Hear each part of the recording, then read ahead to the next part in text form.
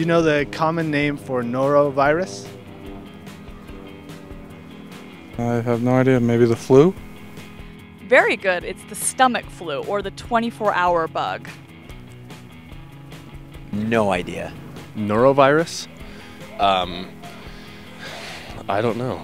As in like neuro, as in like neurological? A neurovirus? Norovirus. Oh. Um, this is the first time I've heard of that virus, so that one, in my opinion. Oh.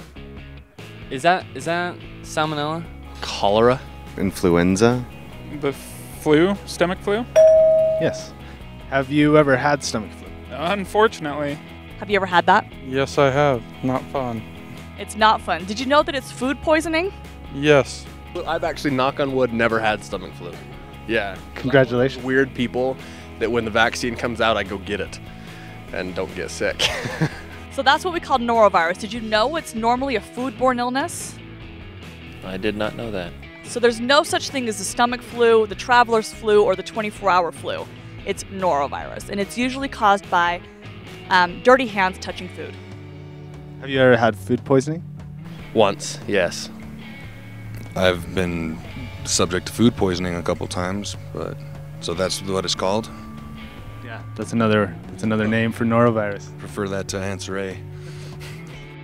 Food poisoning is is the stomach flu, and uh, the actual flu, like influenza, is a separate thing than stomach flu. you sneaky buggers. Okay.